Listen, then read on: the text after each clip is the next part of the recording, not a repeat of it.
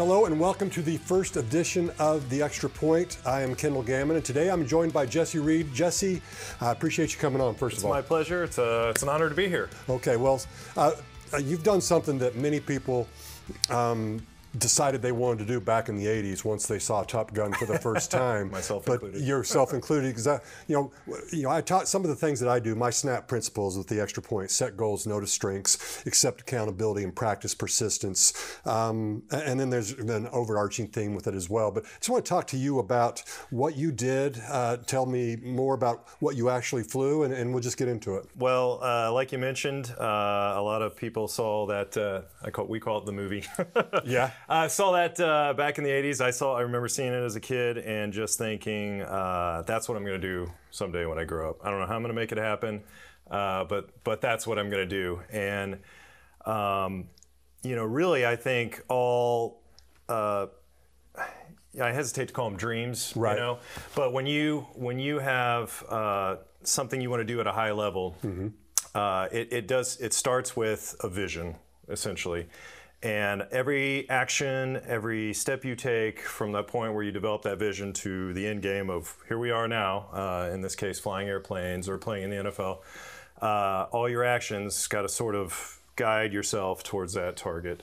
Um, and for me, it was it's it can be as simple as inspiration, uh, seeing something like that and, and, and realizing that's what I want to do, and all my actions and, and are going to be very intentional towards making that happen someday. So in my case, Yeah. uh, you know, and there's a little bit of serendipity involved as well. No In question. some cases, Yeah. uh, but um, you know, that's that's the genesis of Okay. it all.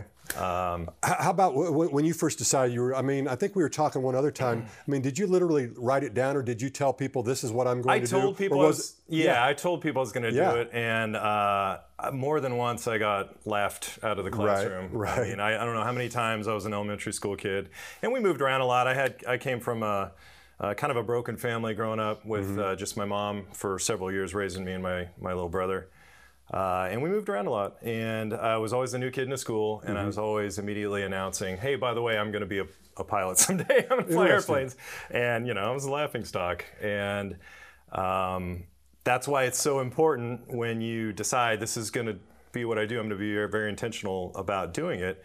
Um, it, it you know, to stand up to criticism like that, Right. to stand up to ridicule or any kind of adversity you're going to face, you got to you got to really believe it in your heart that you're Yeah. take the steps to make it happen. So- No, I, I get that. You know, I remember uh, the very first time I went to a Chiefs game Yeah. um, in college, walking around the stadium. I wrote about it in my book, uh, Life's a Snap, uh, and uh, the Prince song "America" was playing, and I remember out loud, out loud saying to myself, "I'm going to play Yeah. in the NFL one day." Now, I didn't share it like you. Uh, it was my internal dream. It was Uh-huh. my dream I had once I went to Pittsburg State. So I think that's fascinating. You you wrote it down. I, I love the fact that you weren't afraid to. Uh, let people know about it. Did you, um, as you moved along, and well, let's let's go back to this first of all. Is which what what plane did you fly specifically? Uh, I flew. I did most of my uh, career uh, flying F-18 Hornets and Super Hornets. Uh, and for the folks out there, if maybe you don't know, it's it's basically the same airplane. The Super Hornet was a new variant, uh, a slightly newer variant that came out in the late '90s that was a little bit bigger and had some more capability. But for the most part. Uh, you know, somebody at home looking at both of them side by side, they're kind of hard to tell the difference Right. without a trained eye. so- You know, it's, it's it's funny. We, we, we look at it. Um, you flew uh, supersonic jets for a living. I threw a ball between my legs for a living. Not the most cerebral of things to do, uh, but it, but it was one thing. And, you know, I joke about sometimes that um, you know at one point in time in the NFL, I was considered one of the best long snappers in the league. So I was arguably the best at my craft uh in the world. And and um, the fact is, for me though, uh, in my craft, and I joke about it, but you know, it, it was a it was my goal. Yeah. I joke about it, but there was never that chance of, quite honestly, uh, of losing my life. I mean, maybe get hurt, but uh, we talk about battles in the football field, but that's just a, you know, that's just a metaphor. Mm-hmm. Yeah. For you, you were truly in the battle. True, truly in battles, yes, and um, but I like the parallel. And uh, now I, I played high school football. Right. Never made it to to another level. I really enjoyed that, but I think what I, what drew me to the military and what still draws me to football and why I love it so much today are the parallels between uh, the two Yep. different. Um, we call them like lifestyles. Uh, two different. Yeah, no, that's- I think that's right. To me, uh, you know, on the football field, you, you know, you've got uh, the troops going to battle, following the general in the battle, uh, Mm-hmm. Right. so to speak. And um, though the, I think playing football early on and facing adversity in sports in general and all that is is, is at least the, as far as the military goes is a, is a great parallel to prepare you for that, to prepare for failure, for heartache. Uh, don't get me wrong, I, I, you know, being an F-18 pilot was great, and I also got to some pretty high levels that I'm, I'm very thankful to have done it. But it didn't come without a lot of failure and a lot of screw ups along the way. Right. And uh, you know, some of those hurt worse than others. Um, but yeah, even the parallel, like you said, of, of personal safety. Um, yeah, there's there's a lot on the line mm-hmm. for uh, whether you're snapping the ball or uh, you're going out into combat. There's the the guys that you're playing. That's going to be the first. That's going to be the first and last time we compare snapping the ball to going out into combat. I promise you that I, I was not thinking that. But uh, no, but I get it. I mean, it is amazing to me though because Okay, you know, we, we went from when you, you thought you were going to do it, and we'll probably jump all around, but now you, are in the cockpit and, you're in sorties yeah. over, I don't know, Afghanistan, Iraq, yeah. wherever mm-hmm. it may be. I mean, you're doing it for real, which is what you train to do. I, yes. I would assume, uh, just like me getting ready, not just like me, but in a sense, in getting ready, ready for a game, you train, you train, you train. Yeah. And when it's finally t- uh, your time is called, you're like, okay, let's go. This is what I'm supposed to do. Yeah, exactly. And, um, probably again the, using the, the, the, parallel of, of comparing the two with football and, and flying you know there's the big picture. Right. you always want to go out and win the game. You want to win the super bowl. You want to win whatever. Uh, but at the micro level in the moment when you're snapping the ball or i'm asked to drop a bomb somewhere uh, you don't want to let those guys down. That's right. the big picture is the big war or the battle or whatever is, is going on. But at the micro level this guy depends on me uh, the guy next to me on the line, the guy down on the ground depends on me, and I need to do my job to take care of him. And again, that it's uh, uh, I have no shortage of parallels right. between the two. I'm sure. That's why I think it's that's why uh, you know um, I think this is such an appropriate conversation. Yeah. Well, you know it's interesting. You and I met at training camp uh, yeah. this last year, and they were talking about some things, and yeah. I just happened to mention uh, during my playing days and getting ready you know how big uh, visualization was for me when I got ready for uh, for the uh, the combine way back in wow 1992 yeah. and and did it my whole life and and how I I, I mean I took in excess of 100,000 snaps during my career for mm-hmm. 15 years uh, physically yeah. Uh, but I bet I took 10 times that mentally and the visualization side of things and you came up and talked to me about that afterwards and that's something that you guys really uh, as pilots deal with also right it absolutely is there's there's um, there's forms of rehearsal mm-hmm. where you're actually doing stuff. So we call it chair flying. Right. So uh, you know, if I was going to go out and do a big mission tomorrow or in a few days, I would rehearse uh, all the steps uh, sitting here in my chair at 1G, as we say, where there's not all the other yeah. external stress you. I'm really good at 1G. I'm really good at 1G. well, yeah. So you got you got to be good at it at 1G before you can be good at it at seven and a half G. So wow. Uh, but you know, even when I was just learning how to fly, the very first steps, you know, new guy uh, coming out of college in flight school, um, you got to know where all the switches are, right. and you got to be able to reach for them without looking uh, under pressure. So. Uh, we close our eyes, and I would practice this switch and that switch, and this is the fire control handle, and this is a fuel shutoff valve, and all those kinds of things that you need to know in the heat of the moment. Let's say the cockpit got filled up with smoke and fumes, and it's nighttime, and you had a full electrical failure, whatever. You got to be able to find that stuff uh, off of instinct. We call right. it brainstem power. Okay. So when all this the conscious stuff starts failing, um, and starts, unconscious competence. Uh, exactly. That's what I tried exactly. to get with yep. the, the NFL. The minute I got out there, no matter what was going on, I, I hoped that I'd done it so many yep. times so that, that, it just came. It happened. And you know, Morten Andersen one time wasn't. He's the Hall of Fame kicker. Yep, yeah. He was here for with the Chiefs for a, a couple of years I remember a game or two where he wasn't kicking well uh, to begin, the, or in in the pregame. Yeah. And he was like, Ken, he comes up and he goes, Kendall, I don't know what's going on. Yeah. I mean, I'm not hitting him right or anything. I was like, dude, you've been playing for 18 years. when you get out, you just keep going, you just keep working on it, and when you get out there, your body's going to take over. Yep. Sounds to me that's kind of what you're talking that's exactly about. Exactly it, and we call it we call it brain stem power. Nice. That's the, the affectionate Navy term for it. that, that works for me. Uh, but yeah, when all else fails. Um, don't overthink it and right. you've done the reps a million times. You've done the muscle memory. You've you've done it with your eyes closed. You've chair flown it as we say. Uh, and let let what is ingrained now in your brain as muscle memory take over. And a lot of times that's a good way to operate. Yeah uh, uh, for sure. because we can psych ourselves out with conscious thought. That's where all the practice and all the stuff that you uh, you know we see all the glamorous stuff. We see the games Uh, you see the movies, whatever. Um, but it's all the work that gets put in that's 99% of your time Right. spent in your craft that people don't see. That's really where you're making your money. It's Yeah. not. Right. The performance is, yeah. is the result. Yeah, your, yeah, your performance has really started weeks, years, weeks, months, years ago because ultimately you can't get there. You know, you talked about being accountable. I, I, I love that and the fact of, you know, when they're, you know, when you're up there with your wingman. That's the only way I know to say it. I know Yeah. it's silly, but I, I guess that's what it is. I mean, you're accountable to each other, or you know, I, I don't know. When you flew, was the the uh, the the jet you flew? Mm-hmm. Did you have somebody behind you, or was it just you? Uh, so I flew a couple variants of the F-18. Uh, some of them were single seat with just a pilot, and then some of them had what we call a WISO. Wep- it's a weapon system operator. Okay. Uh, sitting in the back seat. Um, and depending on what squadron you went to, you could either have a one-seat crew or a two-seat crew. The two-seat crews have a couple extra missions that they do. Um, but yeah, I had the experience of flying with uh, just in the cockpit by myself or with another crew member. But one thing that never changes, at least in the fighter pilot community, is you're always flying with another airplane out there. So whether you're in the seat by yourself, So I was correct you have you always have or you're a so you always have somebody to be accountable to. Exactly. That you probably have a fairly decent relationship with, have been around. or- Yes, yes, but you may not. Also, you may- may, yeah. not even know. Sometimes you uh, you show up in combat or in a mission, and you just know somebody by their voice over the radio, and that's about it. and I, I would think that would maybe be even more uh, important to understand that you you you trust that they were trained just like you were, and that they're going to give their all just like you. you Yes, do. and that, and at least uh, again, and I'm speaking in military terms. and other Right. a No, that's fine. but we call it standardization. So I know, uh, no matter who I meet up with in country overhead, I know if this guy was trained in the U.S. military and the Navy or the Air Force, we can speak a certain language uh, without me having met him and I, uh, him or her, and uh, I know we're going to be able to communicate effectively.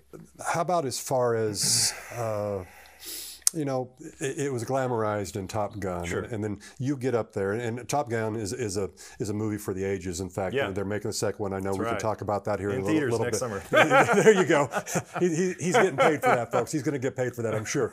But um, how many times did you experience people like, man, that just must be awesome, and they just think it's great, and they don't understand? Because I know for me, people be like, oh man, you you're a long snapper. That, that that's the best job in the world. Uh, they, they don't understand that Yeah. my head's down, that I'm getting the crap knocked out of me, and that there's pressure. That I, I hold the fate of the team in my in my hands each and every time. How did you deal with that? I mean. Uh, did it bother you, or did you just understand? Sometimes people, if they don't know, they just don't know. You, understand, because I mean, uh, you know, um, I, I, I happen to be blessed. We happen to be blessed with with we had careers where you're, you're to a certain extent you're a role model to people, Right. and people get excited about and enthusiastic about what you do, and I am absolutely grateful for that. Um, but people also there's a great video that was just out um, a few weeks ago. I think it was Drew Brees okay. preparing for one of his games, and he was in the training complex Oh, all yeah. by himself. Uh, and I think it was Reggie Bush was filming him, and he goes, "Hey, this is what it takes to be great." Uh, Drew Brees had no idea he was being filmed, 100 yards away in the training complex, and he's just going through his reads, and he's he's looking around, and he's just chair flying stuff, basically, Right. by right. himself. Uh huh. And uh, the thing that uh, folks who get excited about this and they're kind of like fans or enthusiastic or, or very interested in what you do don't realize that that's, again, the 99% of your time spent is Right. that part of it. Uh, I was lucky enough to go through Top Gun uh, as well um, back in 2009. And I can tell you, as cool as the movies are and as inspiring as they are, they don't scratch the surface on what it actually takes Right. to get through that program, which is a lot of study. I mean, you know, you're a day for a flight there is is uh, several hours of preparation just to give you a brief for the flight, two hours, an hour and a half to two hours of of actually giving your brief and getting ready in the pre-flight. Oh, then you go out and you just fly for an hour, and then you come back and you debrief for another four or five hours. So there's probably a lot of Is it- parallels again with football. You say here with team. debrief. Is that the AAR after action report, or do you call them that? We go in and it's just called we- debriefing. yeah, we go in and we It's, talk. it's the equivalent of us watching film after it's game exactly day, right? Exactly the same. Uh, Yeah. I mean, this is again another great parallel. So, you know, you come back, you determine whether you succeeded in your mission for the day or not. Right. Uh, you know, if, if it's a, tr- and a lot of times it's just training missions for us. But we come back in. Did we get mission success? Yes or no? Uh-huh. Uh, and then we talk about, okay, well, let's see what it took to get there. One way or Right. Let's see what went wrong. Even if things went right, let's see what we did wrong and could get better at. Right. And then, yeah, we just get into the tapes. We have tapes of all our radar displays and our heads up displays and all that. And we just go literally minute by minute through that flight. And we go, okay, right here. Okay, what are we what are we thinking here? Uh, yeah, I should have done this, should have done that. Okay, we're our, we're our own worst critics, of Yeah, I'm course, sure, which yeah. I think you have to be. Um, The, the talk of you were inverted, and, and that, that, that, doesn't, that, that may just be a little bit of movie yeah, magic. right? no, no middle fingers upside down. So, but uh, Oh, that's amazing. But yeah, a lot of people don't realize the uh, the amount of like non-glamorous work, if Right. you will, that goes. Into I know for, for football, it was about we we thought it was about four hours of meetings to every hour, or out meetings or film to every hour that you were on the field. Yeah. And, and yours is probably even more so with that. How about um, you know for me since you know I played 15 years, very fortunate. Um, and then you know I, I get asked, and I, and I do teach uh, people how to long snap. Some some high school kids, some college kids, even. Uh, you you taught at the highest level as well, right? Top Yeah. Gun. So when you go through as Top Gun uh, through the course, the the whole the whole purpose of that program is is and really. Um, it was sort of the first center of excellence that ever existed. That, uh, they, they were really the, the ones back in the 60s that coined the phrase center of excellence, which is now mimicked in corporate America and all that stuff. Where they decided we're going to get a bunch of folks that are just going to work at excelling, being the best, and, and basically creating expertise in a certain uh, field, in this case, aviation and being a fighter pilot. And then we're going to get so good at it, we're going to figure out the best practices the, uh, and techniques to use, and then we're going to teach them to everyone else. We're not going to hold on to the secret. We're going to get really good at it uh, through every tool we have, whether it's study of the adversary uh, and just our own training reps and techniques. And then uh, we're going to go sort of uh, instill that to the rest of the fleet. Right. Uh, we call the fleet basically the rest of the, the Navy. Okay. So that Joe Schmo coming out of flight school can execute this and go out and be effective and you know win the game, so to speak. So. Um, and uh, so yeah, so as a so as a Top Gun graduate, it doesn't end there. You don't just go, "Hey, high five, we we finished Yeah. this course." Right. Uh, N- you now it's your job a, to a take it out. responsibility to Okay. go take it. And, But not everybody go. Not every. I mean, not everybody gets no, into Top Gun, no, right? No, no, I mean, no. it's, pretty selective. It's very correct? competitive. It's very Thus competitive. the name Top Gun. I Yeah, guess. yeah, right? it's very competitive. Um, you know, there's a handful of folks a year out of uh, which is already a very competitive community. Right, Flying, exactly. Flying uh, any kind of tactical aircraft, uh, it, it took a lot of work and and uh, serendipity and skill to get to that point, and then from there. Somehow, again, timing and desire and Right. and work ethic and all that gets you to that next phase. And really, uh, we like to say, well, you know, once you get the uh, once you get the uh, Top Gun patch on your shoulder, you kind of lose the right to be stupid anymore. Is what we say. Interesting. Huh, I'm still, Um, yeah, yeah. You see, I don't have that. So But part of being stu- still stupid. part of not being stupid is, and we're not perfect. We don't have a zero defect, Right. uh, you know, uh, fighter pilots or uh, you know Top Gun graduates. We're not a zero defect group of people. Um, part of your credibility of not being stupid, so to speak, is uh, is admitting, being the first to admit, hey, I could have done this better. And Right. people look at that and they they they glom onto that. Too many people, I think, and nowadays are afraid to admit failure, admit when they could have done something better. And I actually, and I speak, I think, again for you know folks that I've worked with over the years. Uh, that that is that's a um, that's a characteristic of leadership to us. Yeah. It- well, that's that's be- really it's- yeah. It's accountability. It, it's Exactly. it's understanding that you take you own your actions, good or bad, and, and ultimately you don't fail. You just you weren't successful that time, and, and you, you're going to have to go back. The only time, in my mind, the only time you fail is when you quit. Yeah, yeah, yeah, uh, and um, because you don't get better without failing. Am I, Right. You know, somebody I used to I used to I had the privilege of of leading a couple hundred sailors uh, in a squadron. So you know, as a pilot, you're you've got your main part of your job where you fly airplanes and you you you try to. Uh, um, train to go to battle, Right. and then you go to battle. But then, when you're not flying, you also have other duties that you have to do. And, and at least uh, for naval officers, we we have folks that we're in charge of in the squadron. And for me, I was in charge of maintenance folks that worked on the jets. Oh. So you get very close and personal to the uh, to the uh, the men and women that are actually fixing your jets and making them fly. And um, I always told them, I said, hey, I don't want. Uh, uh, you know, this isn't a zero defect environment here. I, I want you guys to make healthy mistakes Right. and learn from them. Uh, I the most dangerous guy on a team, I think, is somebody that's never experienced failure because when it finally does happen at a critical moment, How are they going to know how to handle themselves. Right, So, absolutely. Yeah. You know, we've talked a little bit about set goals and the note of strengths because you've you have to to figure out what you're good at, and you you figured that early on. And we even just talked about accountability. I want to go into persistence a little bit because you know, for me, you know, snapping a ball between your legs, a lot of persistence there. You talked a little bit about it in terms of uh, what you called chair flying Yeah. or, or 1G, but I mean. How, how many hours do you figure you had in a plane before you were really ready to, to go out and, and do it? Because I, Um, I think it might be staggering for people to hear. Yeah, so I and I, I had a private license on my own before I started flying for the Navy. Okay. Uh, so I had you know 100 hours or so, which really isn't that much still, but uh, it took two and a half years of flight school flying almost every day until uh, I got winged. So I mean that two and a half years from when I graduated college was flying every day, and you start with the basics of just you know, pull back on the stick, trees get smaller. Wow. Push forward, trees get bigger. Basic flying concepts.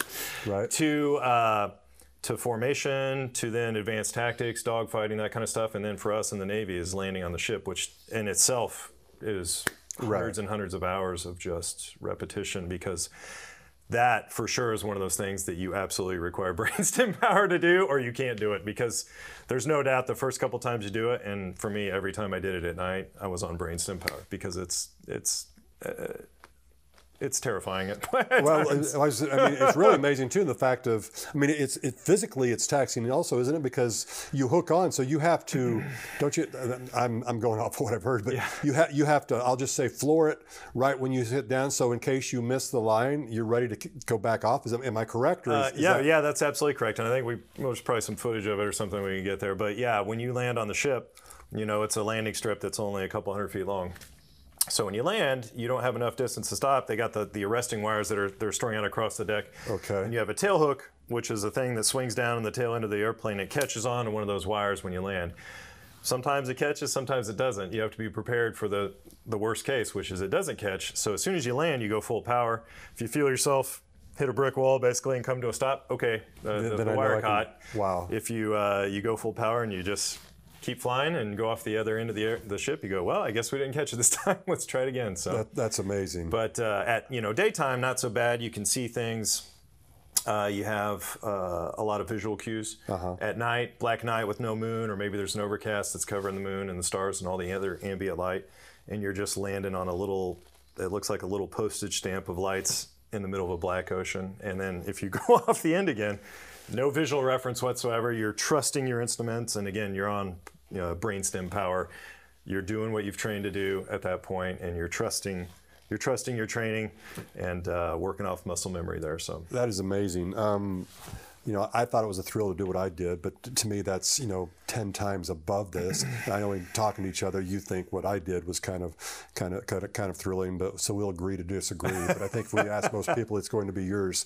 Um, everything you've done, um, there always had to be something inside you that was pushing you. I mean, um, to, to make you at a young age. Uh, want to do what you did. This is you know what we'll end on, which is you know to me is what is your extra point? I mean, what is it that that's pushed you to be successful, uh, or pushed you to get by things when you weren't so successful? Because obviously that happened as well. I think a lot of it was my inspiration as a kid. So I, so I had this dream uh, of, of flying airplanes, but um, you know, at that point, as a little kid, you don't really quite understand how to make things happen yet. But I watched my mom at a young age. Uh, my brother had leukemia when we were kids, so I have a single mom raising two kids. Uh, one of them has cancer and working multiple jobs. And I saw that persistence and that grit that she put in every day. And it, it, you know, as I got older, I realized, wow, that's not insignificant what she did, the, Right. the amount that she took on her shoulders. And it was almost um, sort of like a sense of personal pride of like, I've got to live up to this family legacy of hard work and grit. So I have this thing I want to do. I realize it's going to take that.